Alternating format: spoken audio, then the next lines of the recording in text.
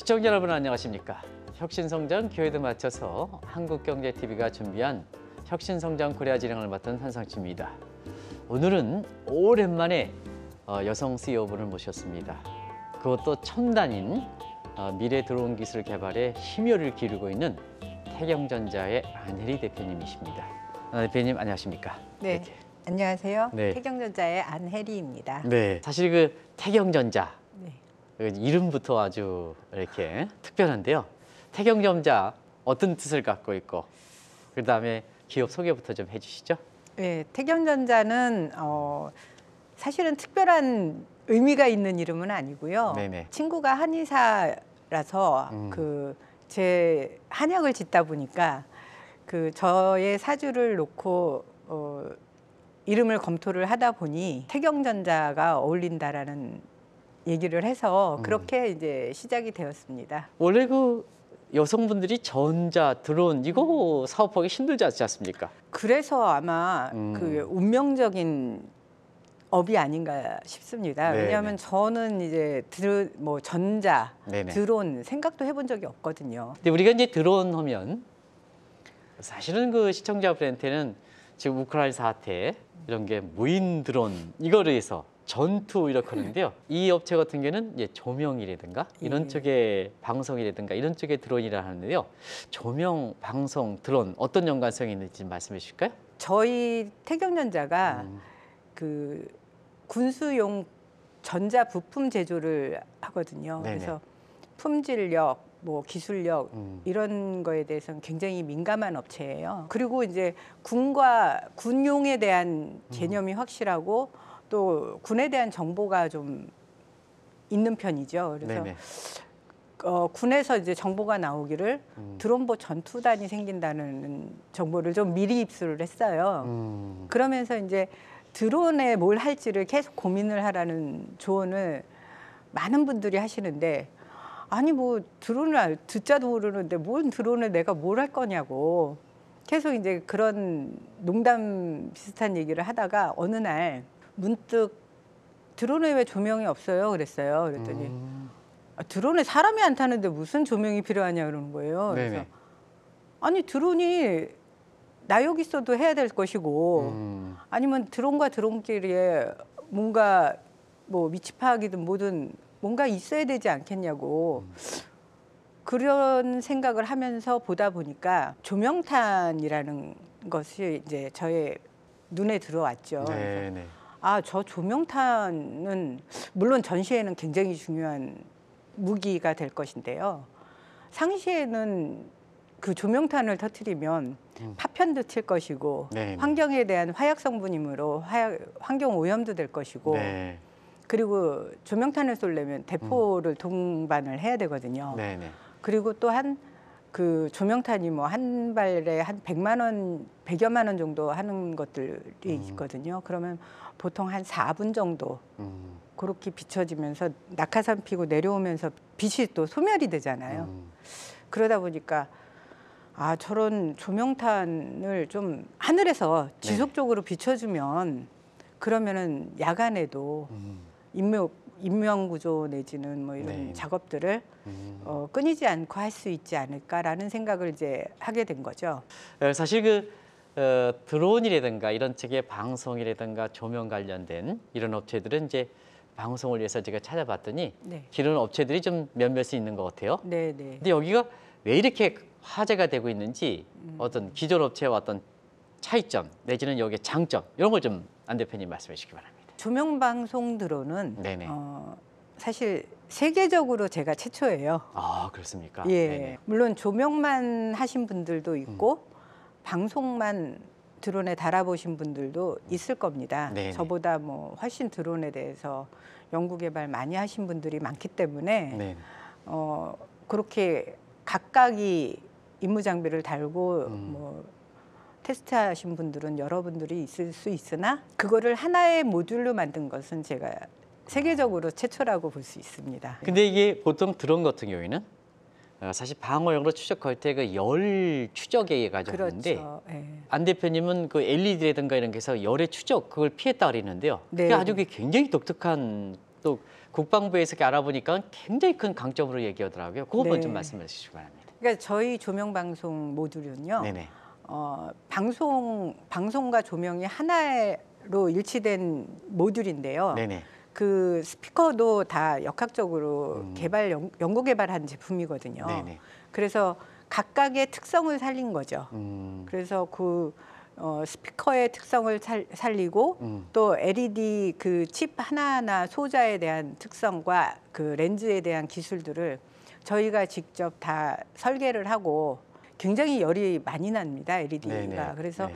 그 LED 열로 인해서 스피커가 손상이 돼서도 안 되는 네네네. 것이고 또 말이 전달될 때 음. 그 음, 음성 전달도 잘 돼야 될 것이고 네네. 그런 모든 이제 설계를 저희가 직접 해서 음. 어, 좀 남다른 거죠. 아무래도 사업을 하려면 네, 조명 드론과 관련된 군수용 수요 이게 좀 수요가 있어야 되지 않습니까? 예.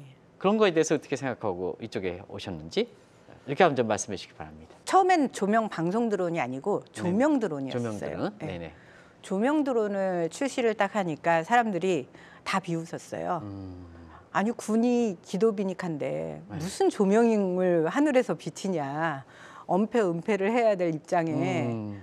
말도 안 되는 소리 하지 말라 그러더라고요. 비웃더라고요. 그래서 근데 저는 확고한 신념이 있었어요. 네네. 저 조명 드론만큼은 어, 미래 우리 자손들에게도 굉장히 도움이 될 만한 제품이다라는 확신을 저는 갖고 있었어요. 그래서 조명 드론을 이제 꾸준히 개발을 하고 그러던 와중에 군에서 이제 방송 드론이 필요하대요. 네네. 그래서 어, 전투 실험에 방송용 드론 좀 시연해 달라고 하는데 음. 조명 드론 업체한테 방송을 해달라니까 제가 싫다고 처음엔 했고요. 어, 그래도 또 기- 급했나 봐요. 네. 간곡히 부탁이 또 들어왔어요. 그래서 제안을 했죠. 그러면은 내 바- 조명 드론에 그 방송을 같이 달고서 시연하면 조명 방송으로 시연하면 그거는 음. 되겠냐 했더니 그렇게 하는 거는 괜찮다는 거죠. 음. 그래서 이제 첫 출시가 조명 방송 드론으로 아. 군에 이제 들어가게 된 거예요. 그러다 보니까 이제 어 군에서도 괜찮네 라는 음. 이제 생각이 들었었나 봐요. 네네. 그래서 이제 꾸준히 이제 연락이 또 다시 와서 또 전투 실험에 참가해 달라고 하고 그러면서 생각해 보니까 그 당시에는 드론을 잘 몰랐을 음. 때거든요. 그래서 드론은 무게에도 민감하고 뭐 여러 가지 이제 중심 을 잘 잡고 이래, 이래야 되는데 그냥 기존에 그 조명 달고 음. 방송 스피커 달고 이렇게 해가지고는 제가 제 성에 만족이 안 되는 거예요. 네 네. 그래서 아 그래도 사람이 자존심이 있지 기업이 음. 이렇게 그냥 아무 개념 없이 또 군을 대하는 건 예의가 아닌 것 같더라고요. 그래서 음. 제 스스로 그 조명과 방송을 하나의 모듈화를 하려고 노력을 많이 했고 하나씩 하나씩 어, 발전해 가다 보니까 음. 지금은 한 어, 13개 버전 정도, 아. 13번 정도의 버전이 나왔고요. 네. 그러면서 군에 이제 홍보하고 소방에 홍보하고 해외 전시도 작년에 뭐 수없이 많이 갔어요. 네. 작년 전시회만 한 20번 음. 정도 되는 것 같아요. 각 해 국내외로. 해외는 반응이 더 좋아요. 국내보다. 음. 그래서 이제 다녀보니까 저도 재미도 있고 음. 그러면서 이게 이제 수요가 생긴 게 올해는 군에서 이제 저희가 이작 이작전 사령부에 이제 음. 드론을 납품 이 조명 방송 드론을 납품을 한- 하고 그 납품한 것을 이제 사용해 보고 어 그 개념을 정하고 해서 내년부터 수요가 한 600여 대 가량이 잡혀 있어요. 네 네. 그럼 아마 수천억이 될 겁니다. 수천억이요? 네네. 어, 사실은 그 군수용이다 하는 그 이미지 때문에 네. 민간에 사용하는 데는 좀 이렇게 여러 가지로 부정적 측면이 있거든요. 근데 이제 지금 말씀을 듣고 보니까 예. 오히려 군수용이 토대로 되지만 민간 차원에서 얼등히 많은 앞으로 수요가 창출될 거로 이렇게 보이는데요. 군은 음, 국민의 안전을 네네. 위하는 게 또 군인의 임무거든요. 네네네. 그렇다 보니까 군에는 전력 지원 체계라는 게 있습니다. 네네. 무기 체계도 중요하지만 전력 지원 체계가 굉장히 중요하고 이 전력 지원 체계는 모든 어, 민이든 군이든 지원을 하는 체계거든요. 네네. 그렇기 때문에 군의 이 조명 방송 드론이 전력 지원 체계로 들어가기 때문에 음. 민이나 군이나 굉장히 유용한 물품이라고 저는 생각을 하고 특히 이제 소방이나 음. 이런 분야에서는 인명을 구조한다는 게 얼마나 그렇죠. 중요한 거지 네네. 않습니까? 네네. 그래서 그 인명을 구조한다는 면에서 보면 특히 초, 초기 진입해서 음. 골든 타임 놓치지 않는 것 음. 그게 가장 중요하다고 생각을 합니다. 여성 발명하시려면요? 이것도 예. 무슨 얘기입니까? 오늘 깜짝깜짝 어. 얘기가 많네요. 네네. 네네. 어찌 하다 보니 네. 여성 발명왕 이라는 그 행사에 참여를 하게 됐어요. 음. 이제 추천이 들어와서 이제 저희가 서류를 접수하고 뭐 했는데 어 여성 방, 발명왕 대회에서 네네. 제가 이제 금상을 수상을 했고요. 어. 또 하나는 좀 특별한 상을 특별상을 수상하게 됐는데 음, 개인적으로도 그렇고 굉장히 어, 좀 명예가 있는 상이라고 할수 있죠. 세계 지식 재산권 기구 네네네. 와이포상이라고 하거든요. 네네네. 예, 그 기구에서 특허권 그런 음. 기구거든요. 네네. 그래서 거기에서 특별상을 수상했습니다. 네. 지금까지 이제 조명이라든가 방송 드론 관련해서 집중적으로 얘기했습니다는 이게 네네. 다양하게 응용 분야가 있을 거로 생각하는데요. 네. 그래서 다양한 프로젝트를 좀 다른 프로젝트를 구상하고 있다는데 그거 함께 말씀해 주실까요? 지금 현재 저희가 그 과제를 한 세 개 정도, 세네 개 정도 진행을 하고 있는데요. 네네. 어, 하나는 이제 금호공대하고 음. 어, 적어도 자율비행이라는 과제를 수행 중에 있고요. 네네. 그리고 또 하나는 음, 민군협력진흥원에서 하는 어, 다목적 모듈 장착 유무선 드론 시스템을 하고 있고요. 네네. 거기서 다목적 모듈이라는 것은 음. 감시 정찰, 음.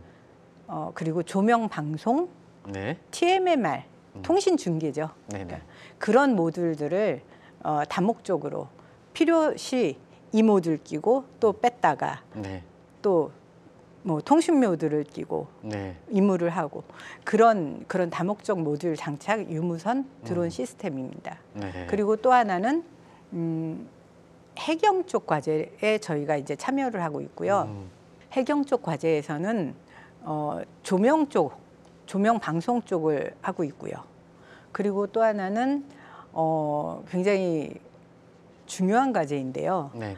LIG 넥스원, ETRI, 음. 그리고 음, 드론산업진흥협회, 그리고 어, 어, 전자기술연구원 등등의 기관들과 같이 협업해서 광주시 네네. 예 지원을 받고 해서 443억짜리 프로젝트예요. 네. 200kg급 카고 드론입니다. 근데 거기에서 저희는 이제 작은 임무를 해요.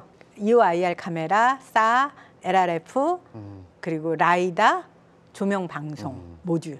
요 모듈 부분을 저희가 담당하고 있습니다. 그리고 네. 이제 그런 과제들 가운데서 음. 지금 이제 민군협력진흥원의 다목적 모듈 장착 유무선 드론 시스템과 음. 금호공대와 하고 있는 적어도 자율비행 드론 음. 요 과제는 과제가 수행이 완료가 되고 나면 사업화로 갈 거예요. 음. 그 사업화를 갔을 때 어차피 조명 방송 모듈은 낮은 저고도에서 임무를 수행하는 게 굉장히 효율이 좋지 않습니까? 네네. 그러다 보니까 저고도로 자율 비행이 필요하고 음. 미래 산업에 굉장히 최적화 있는 되어 있는 과제라고 볼 수 있죠. 특히 이제 요즘 수소 연료, 이 수소, 네, 네. 수소차. 네. 해가지고 이제 어, 테슬라 것처럼 전기차 해상으로 지금 굉장히 지금 각광을 받고 있지 않습니까? 특히 네, 한국 같은 경우는. 여기에 수소 연료 전기 기반 드론 네. 그 굉장히 관심이 되는데 이거 좀 더 구체적으로 설명해 주실까요? 저희는 이제 수소 연료를 하지는 않고요. 네네.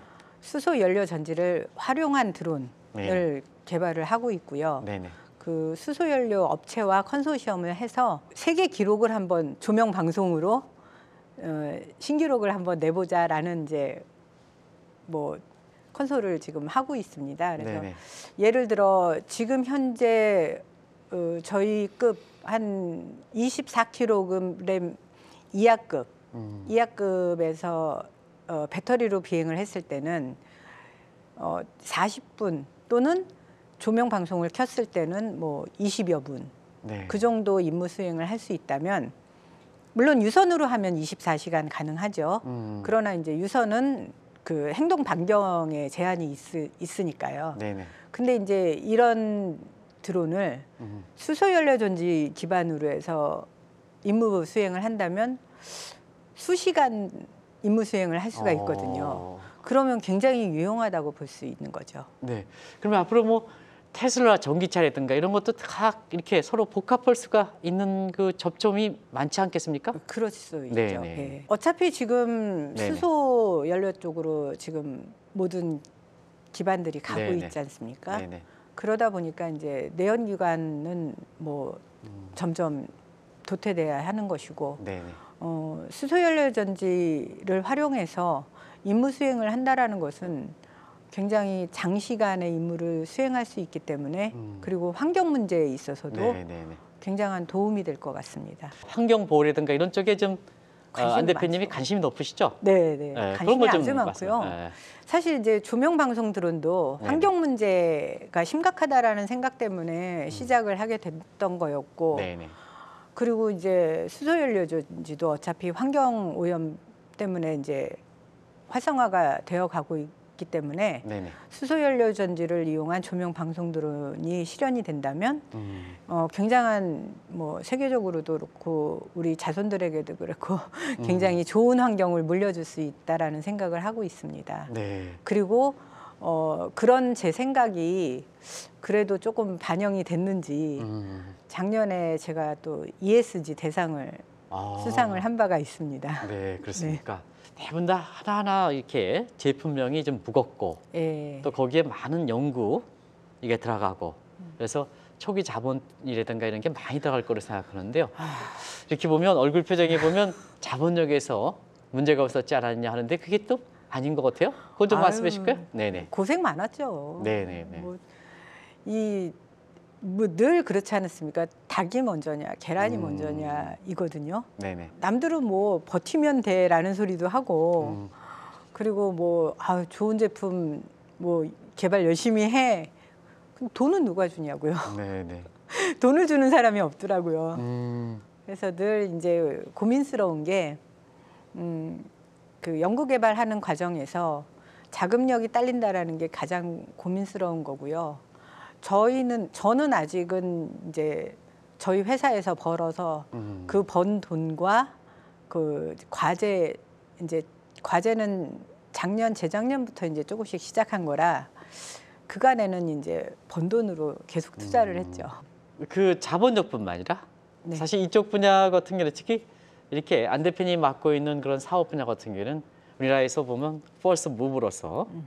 선도적인 기능을 갖고 있기 때문에 사실 네. 인력 문제에 좀 복잡할 것 같아요. 그렇죠. 아, 그런 측면은 어떻게 해결하고 있는지 좀 산학이라든가 이게 잘 되고 있는지 이런 걸 좀 말씀해 주실까요? 네네. 저희 같은 경우는 산학연을 많이 활용을 하고 있습니다. 네네. 그래서 뭐 대학교 한서대학교, 건국대학교, 항공대, 인천대, 음, 그리고 금오공대, 네네. 뭐 신한대 이런 식으로 대학교들과 MOU를 많이 맺고요. 네네. 그 대학교들과 뭐 과제나 연구 개발을 하잖아요. 그러면 이제 장점이 있습니다. 음, 제가 석박사를 수십 명을 어떻게 고용합니까? 음, 그게 안 되거든요. 네네. 근데 결국은 국가 지원을 받아서 음, 석박사님들과 수많은 연구진들이 다 제 제품을 개발을 같이 해주고 있는 거거든요. 음, 음. 그래서 굉장히 유용하게 그게 산학연의 그 본질적인 장점 그렇죠. 아니겠습니까? 네네. 네네.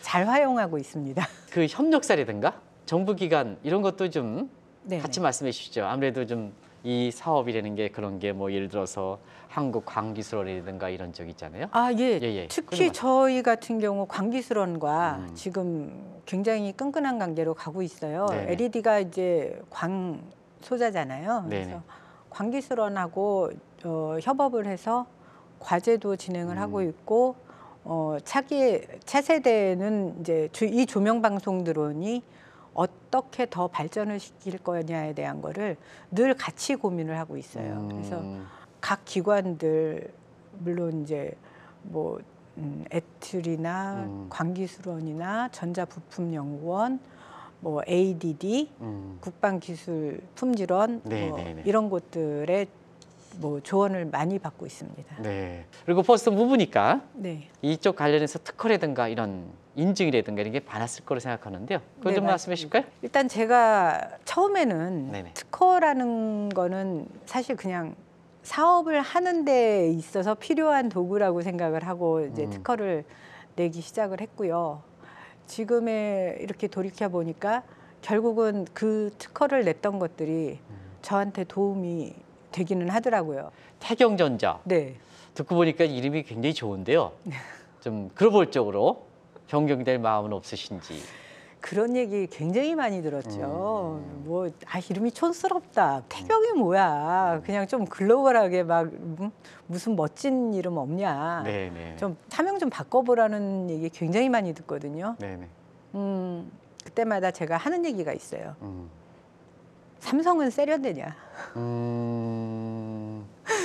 삼성은 죄송하지만, 삼성에 아, 죄송하지만. 괜찮습니다. 그런 일이 있었습니다. 네. 아, 네. 삼성도 순 우리말이었잖아요. 네네네. 그래서 굳이 이름에서 뭔가를 찾기보다는 음. 어, 이름은 애초에 가진 이름이 좋을 것 같고요. 음. 늘 성실한 자세와 음. 품질 음. 그리고 뭐 후손을 대하는 마음가짐 뭐 내가 어쨌든 제가 바라야 바르게 살아야 모든 것들이 다 잘 잘 되는 것이라고 저는 생각을 하거든요. 네. 그래서 네. 자부심과 자긍심과 자존심을 가지고 어 뭐 개발 연구 개발 제품에 임하면 이름이 조금 촌스럽더라도 음. 뭐그 또한 나름의 자부심인 것 같습니다. 네. 마지막으로 네. 시청자분한테 이렇게 태경전자의 미래라든가 우리 안 대표님의 음. 어떤 미래상 특별히 아, 사실 이 군수 분야의 그 조명 들은 같은 특수한 성격은 임직원분들의 어떤 희생이라든가 노력이 없었으면 안 되지 않았냐 생각합니다. 그래서 그런 분들 특별히 기억나시는 분들 마지막으로 이렇게 시청자를 만나면서 좀 말씀해 주시기 바랍니다. 저의 꿈은 음, 어, 굉장히 소박합니다. 음, 그냥 모든 직원이 주주가 될 수 있는 그런 회사를 만들고 싶고요. 어, 내가 회사의 주인이다라는 그런 인식을 저와 우리 직원들이 같이 갈 수 있었으면 좋겠습니다. 어, 직원들도 다 그 삶을 저희 저와 함께 하고 있는 거거든요. 그래서 저는 어, 지금 현재 있는 저희 임직원들 모두가 다 같이 저와 같이 행복하고 저와 같이 어, 미래를 설계를 꾸준히 해 나갈 수 있는 그런 회사가 됐으면 좋겠고요. 태경전자에 다니고 있다라는 음, 자부심을 늘 어디 가 어디에 가서든지 자신 있게 말할 수 있는 임직원들이 되었으면 하고 꼭 그렇게 되게끔 제가 함께 노력을 하겠습니다. 이렇게 이렇게 어렵게 나와주신 데 대해서 다시 한번 아, 감사하는 말씀드리겠습니다. 고맙습니다. 네, 감사합니다. 시청자 여러분 오늘 어, 안혜리 대표님과의 인터뷰 어떻게 느끼셨습니까? 제가 포장은 마무리 포장은 안 해드리겠습니다. 너무 정직하다, 너무 투명하다. 그래서 제가 거기에 얹으면 그 깨끗한 물이 오염될 것 같습니다. 그래서 시청자 여러분이 아, 지금의 한국 사회에서 보여주는 여러 가지 혼탁한 근데 가장 어렵다 하는 이런 분야에서도 이런 분들이 기업을 읽어가는 한국의 깊은 뿌리 같은 거 이런 걸 느낄 수 있음에 감사하다는 말씀을 드리겠습니다. 이 방송을 다시 한번 아, 보실 것을 권하면서 한국 사회도 이 정직함, 깨끗함 이게 비단 기업 환경뿐만 아니라 정치라든가 다른 환경에 꼭 필요한 절실한 대목이 아닌가 하는 것을 첨가하면서 이 방송을 마치도록 하겠습니다. 고맙습니다.